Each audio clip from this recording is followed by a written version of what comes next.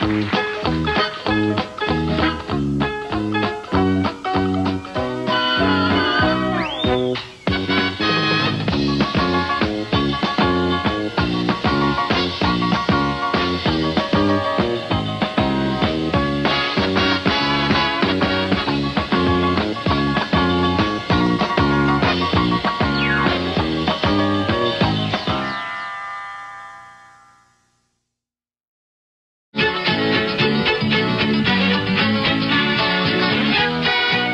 Tiny Woman by Barbara Seuling, published by the Viking Press, copyright 1976. The Penguin, courtesy of the New York Aquarium.